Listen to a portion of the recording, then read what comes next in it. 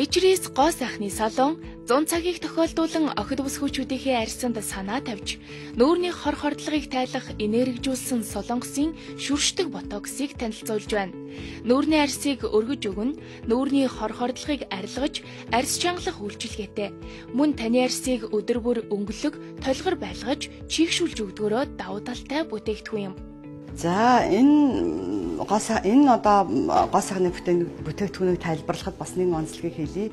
Энэ болохоор энергижүүлсэн ботокс нэртэйгээр гарч ирсэн ийм сайхан шинэ бүтээгдэхүүн байгаа.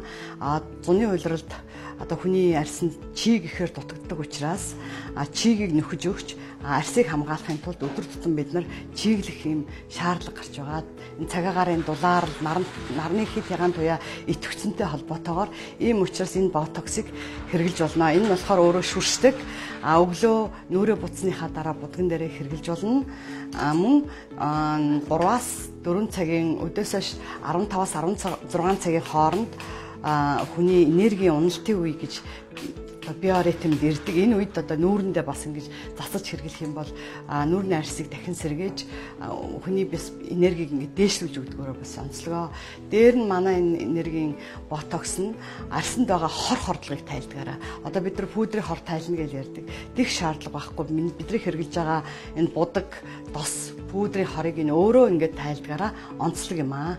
За энэ ботоксийнхаа туршилтыг харуулъя. Энэ арьсанд байгаа хор хордлогыг тайлдаг, пүүдрийн хор тайлах тийм үйлчлэгээ хийх хэрэггүй гэж би түрүү тайлбарлаж байсан.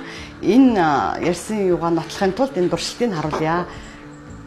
А бид нар бол яг ботокс шүршдэг ботокс гэж ярьж заншсан болохоос биш.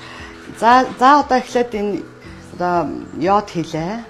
2-3 цэцэл йод хийлээ. За болно.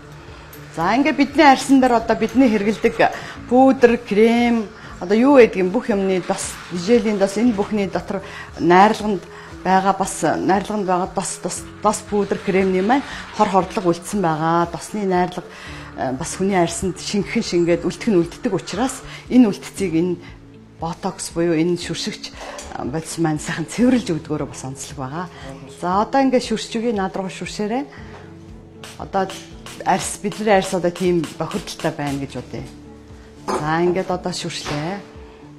За нэг 3 3 минутын дотор л арсны хор хордлогыг тайлж ингэж цайруулж хордлогын тайлаад чийгэлж өгдгөөрөө маш ялгаатай.